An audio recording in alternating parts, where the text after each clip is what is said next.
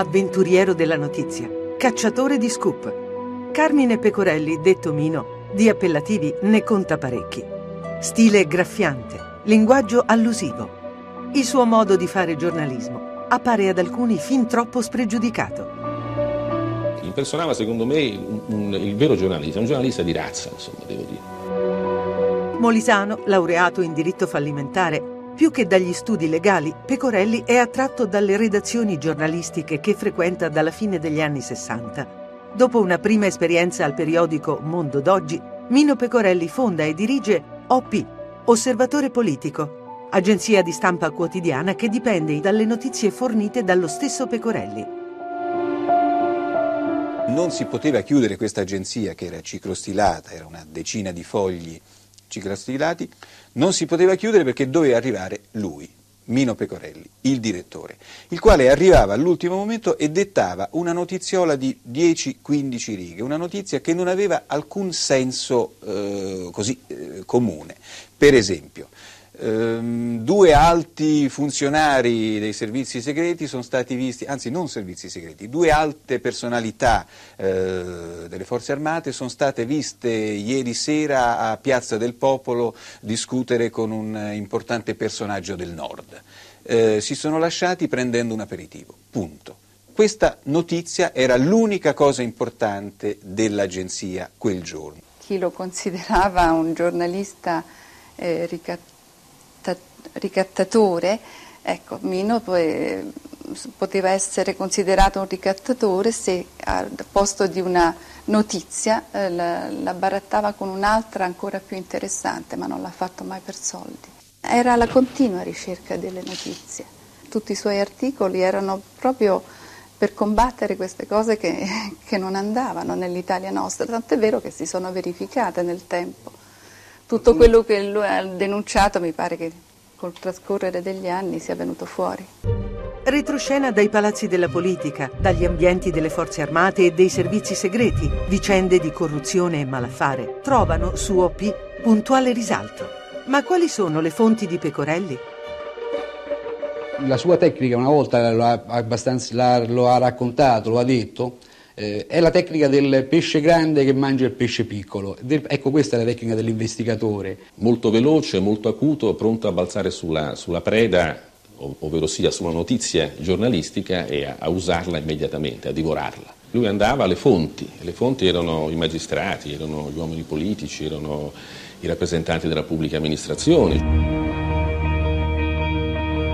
Nelle agende del direttore di OP spuntano nomi di primissimo piano ufficiali delle forze dell'ordine, uomini politici, manager di grandi aziende pubbliche e private. Pecorelli è amico del colonnello Antonio Varisco e dell'ex capo del SID Vito Miceli. Ha contatti con magistrati del livello di Domenico Sica e con importanti funzionari dello Stato come Federico Umberto D'Amato, direttore dell'ufficio affari riservati del Viminale. Tra le sue conoscenze anche Licio Gelli, capo della loggia P2, alla quale è iscritto lo stesso Pecorelli. Tutti rapporti di notevole spessore che diventano più stretti quando decide di trasformare la sua agenzia di stampa in un settimanale. Così scrive nel suo primo editoriale. Parleremo di fatti, di risvolti segreti, di indiscrezioni e retroscena che non leggerete mai nei giornali in attesa delle provvidenze legislative. Opie è in edicola il 20 marzo 1978, quattro giorni dopo la strage di Via Fani e il sequestro di Aldo Moro.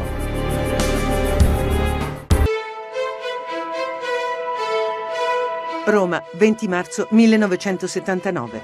Sono da poco passate le 20.30 quando Mino Pecorelli viene ucciso a bordo della sua auto con quattro proiettili. Due di marca Gevelot, difficili da trovare anche sul mercato clandestino. Nessun testimone ha assistito alla scena. Nessuna rivendicazione è ritenuta attendibile. In casa del giornalista e nella redazione di OP, gli inquirenti trovano dossier classificati segretissimi e documenti sensibili. In via Orazio, la scena del crimine si riempie di forze dell'ordine e investigatori. L'inchiesta, affidata ai sostituti procuratori Eugenio Mauro e Domenico Sica, si presenta difficile la stessa attività a tutto campo di Pecorelli estende non poco il ventaglio dei moventi. Quale segreto si è rivelato fatale per il direttore di OP? Era l'epoca in cui c'erano le brigate rosse che impazzavano, cui c'erano gli attentati che venivano da destra, che da sinistra, il caso Leone, eh, la P2, eh, insomma erano, erano, momenti veramente tragici per, nostre, per le nostre istituzioni. Dalle brigate rosse agli scandali petroli e italcasse, al golpe borghese, i colpi sparati in via Orazio possono provenire da più parti. Per due anni le indagini ristagnano, poi improvvisamente accelerano. 17 marzo 1981. La scoperta delle liste della P2 apre scenari importanti anche per il delitto Pecorelli, in cui vengono coinvolti con responsabilità crescenti Licio Gelli e l'ex colonnello del SID Antonio Biexer. Il contesto in cui matura l'incriminazione è il possesso da parte di Pecorelli di documenti scottanti. Alcuni sono di provenienza dei servizi segreti come il cosiddetto dossier Cominform, redatto dal controspionaggio italiano, che indica nel capo della P2 una spia doppio giochista al soldo dei paesi dell'Est. 27 novembre 1981. La scoperta di un deposito di armi della banda della Magliana, nascosto in un magazzino del Ministero della Sanità, porta al rinvenimento di proiettili Gevelot, dello stesso lotto di quelli esplosi contro Pecorelli. 15 ottobre 1982 un terrorista neofascista, Walter Sordi, diventato collaboratore di giustizia, indica nell'esponente dei NAR, Giuseppe Valerio Fioravanti, l'esecutore del delitto Pecorelli, su commissione di Licio Gelli. Poco dopo, un altro collaboratore, Cristiano Fioravanti, fratello di Giusva, aggiunge alla lista dei killer il nome di Massimo Carminati. L'individuazione di mandanti, esecutori e movente sembra portare l'inchiesta sull'omicidio di Mino Pecorelli ad una svolta decisiva.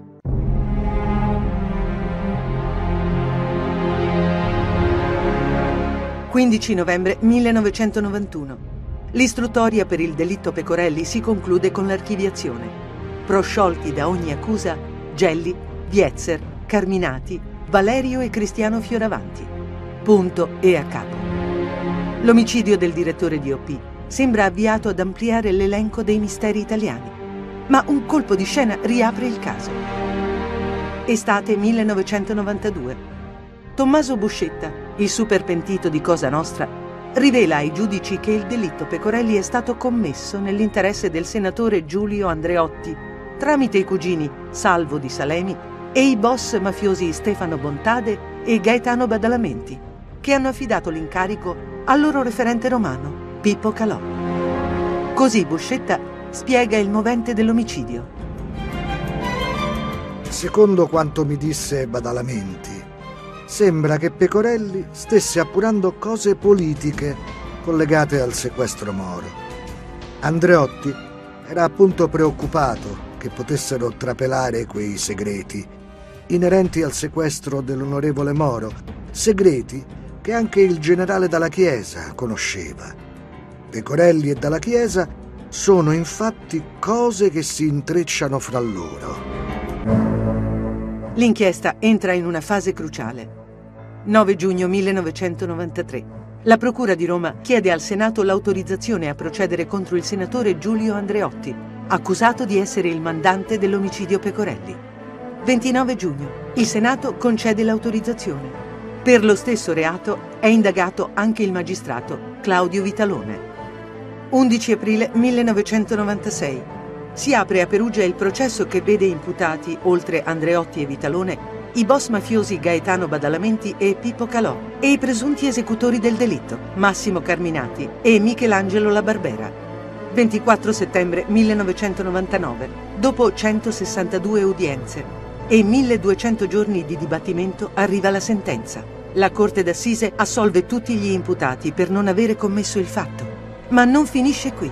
Tre anni dopo la Corte d'Appello smentisce la sentenza di primo grado e condanna Andreotti e Badalamenti a 24 anni di carcere, assolvendo gli altri accusati. Ma nemmeno questo verdetto è conclusivo. Il 30 ottobre 2003 la Corte di Cassazione annulla la sentenza di appello e proscioglie Andreotti e Badalamenti da ogni accusa. Il delitto Pecorelli resta un caso irrisolto.